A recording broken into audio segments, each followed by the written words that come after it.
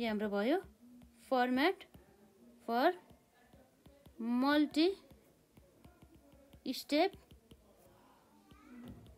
income statement यसमा चाहिँ के छ त? मल्टिपल के छ त? स्टेट के अरे स्टेपहरू चाहिँ रहेको छ।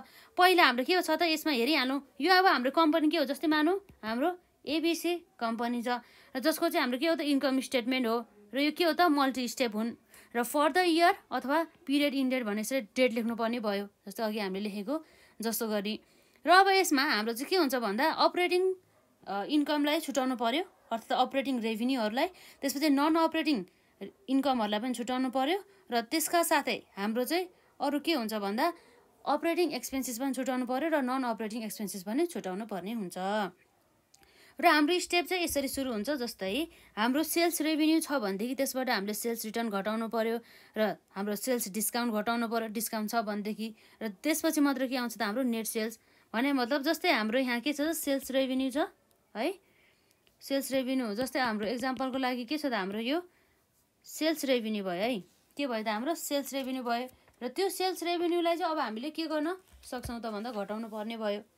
जस्तै यो सेल्स रेभिन्यू भयो र यो सेल्स रेभिन्यूमा हाम्रो रिटर्न छ जस्तै यहाँ डिस्काउन्ट सेल्स डिस्काउन्ट छ भनेदेखि यो दुइटाको जुन सम आउँछ यो चाहिँ हामी यहाँ लेख्छौँ।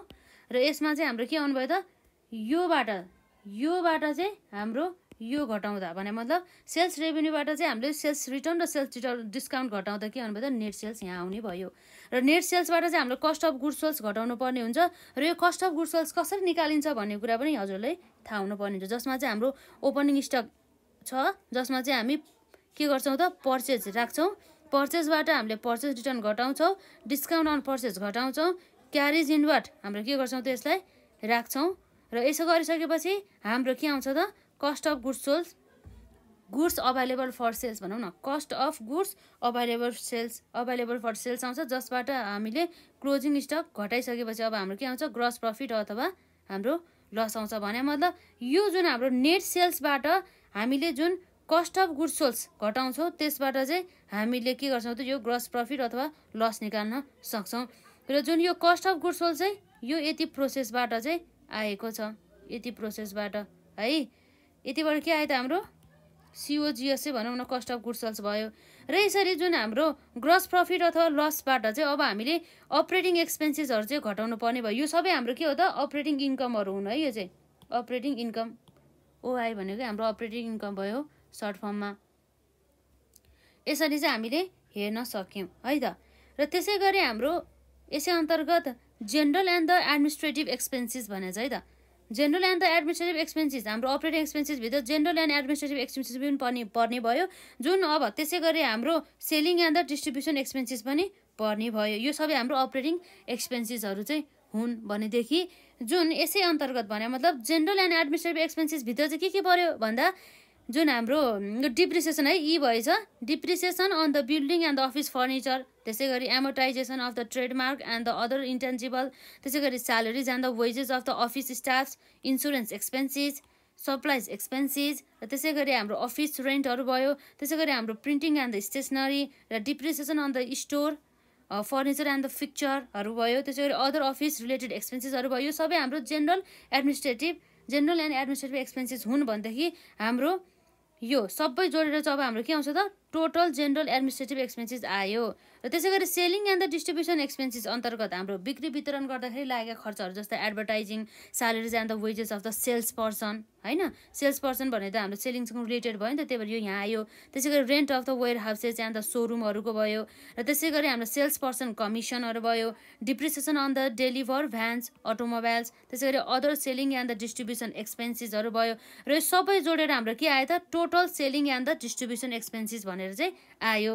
र टोटल अपरेटिङ एक्सपेन्सेस कसरी आयो भन्दा यो जुन हाम्रो total total general expenses plus total selling and distribution expenses जोडेर चाहिँ हाम्रो के आयो? टोटल अपरेटिङ एक्सपेन्सेस र अब हाम्रो यो जुन जति पनि ग्रस प्रफिट निकालेको थिएन अघि हामीले ग्रस प्रफिट अथवा ग्रस लस आउँछ त्यस्तो अवस्थामा हाम्रो त्यसबाट चाहिँ हामीले टोटल अपरेटिङ एक्सपेन्सेस घटायो भने चाहिँ के आयो त हाम्रो? इन्कम फ्रम अपरेसन अथवा हाम्रो लस फ्रम अपरेसन पनि हुन सकिन्थ्यो है? लस भए भए चाहिँ।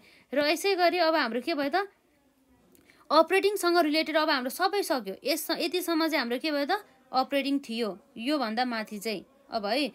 योभन्दा माथि चाहिँ हाम्रो के भयो त यो? आउनुभन्दा अगाडि इन्कम इन्कम फ्रम अपरेसन भने मतलब gross profit minus total up के टोटल अपरेटिङ एक्सपेन्सेस त्यसपछि अब सबै हाम्रो के हो त यो नन अपरेटिङसँग रिलेटेड छ। यो के हो त नन अपरेटिङसँग रिलेटेड छ। जस्तै अदर रेभिन्युज भनेको यो नन अपरेटिङ इन्कमहरू के के हुन्छ रहेछ हेडिङहरू याद गर्नु होला इन्ट्रेस्ट रिसिभ्डहरू इन्ट्रेस्ट सरी इन्ट्रेस्ट रेभिन्यू अथवा रिसिभै भइहाल्यो। इन्ट्रेस्ट इन्ट्रेस्ट रेभिन्यू पेड होइन है। यसमा पेड लेखेको छ। यो हाम्रो के हो त रिसिभ्डै भनौँ। रिसिभ भयो होइन? इन्ट्रेस्ट रिसिभ्डहरू छ भनेदेखि यसलाई रिसिभ बनाउनु होला हजुरहरूले। र त्यसपछि डिभिडेन्ड रिसिभ्डहरू भयो रेन्ट कमिसन रेभिन्युजहरू भयो gain on the disposal of assets. यो सबै चाहिँ हाम्रो के आयो त? अपरेटिङ अन्तर्गत चाहिँ अपरेटिङ होइन नन अपरेटिङ इन्कम भयो है? र त्यसै गरी यो अदर एक्सपेन्सिस एन्ड लसेस भनेको यो नन अपरेटिङ एक्सपेन्सिसहरू हुन्। यो चाहिँ नन अपरेटिङ इन्कम यो चाहिँ हाम्रो के हो त? Non operating expenses non operating expenses अन्तर्गत के के रहेछ भन्दा इन्ट्रेस्ट एक्सपेन्सिस जुन चाहिँ पेड गरेको छ भने loss on the disposal of assets त्यसै गरी एड हाम्रो के छ त एड चाहिँ एड गर्नु पऱ्यो। कतिखेर भन्दा जब चाहिँ excess of the revenues and the gains over expenses and the losses र त्यसै गरी अर लेस चाहिँ हाम्रो के हुन्छ excess of the expenses or हुनु एक्सपेन्सिस एन्ड हुनु पऱ्यो है यहाँ। And losses over the revenue and the gains र यो यति गरिसकेपछि जसमा चाहिँ हाम्रो यो इन्कम बिफोर ट्याक्स चाहिँ कतिखेर आउँछ भन्दा जुन हाम्रो जति पनि यो छ नि यो सबै गरिसकेपछि आउने भयो। जसमा चाहिँ इन्कम ट्याक्स एक्सपेन्सेस अथवा प्रोभिजन फर ट्याक्सलाई पनि एडजस्ट गरेपछि हाम्रो के आउँछ नेट इन्कम अथवा हाम्रो नेट इन्कम के आउनु भयो नेट इन्कम अथवा लस चाहिँ आउने भयो। यो एउटा हाम्रो फर्मेट भयो जुन हाम्रो format for the multi step income statement यो कुराहरू है। यसले स्क्रिनसुट गर्न मिल्छ सकिन्छ हो? यसलाई स्क्रिनसुट गर्नु होला। है त यसरी। र अब हामी नेक्स्ट क्लासमा चाहिँ आजलाई यति नै गरौँ। नेक्स्ट क्लासमा चाहिँ जुन हाम्रो यसै मल्टी स्टेपसँग सम्बन्धित यो क्वेसन चाहिँ सल्भ गर्छौँ त्यसपछि हाम्रो जुन अर्को कन्सेप्ट है रिटर्न अर्निङतर्फ जान्छौँ। र सबै कन्सेप्ट सकिसकेपछि हाम्रो एक्जाममा सोधिन सक्ने सम्भावित क्वेसनहरूलाई चाहिँ धेरै हामी कलेक्ट गरेर पढ्छौँ है त। रिटर्न अर्निङ भइहाल्यो होइन? ब्यालेन्स सिटहरू भए त्यसपछि अरू हाम्रो के बाँकी छ त यसमा statement of change in shareholder equity बाँकी भयो क्यास फ्लो स्टेटमेन्ट बाँकी भयो होइन? सबै चाहिँ हामी हेर्दै गरौँ ल राम्रोसँग पढ्नु होला। आजलाई चाहिँ यति नै गरौँ।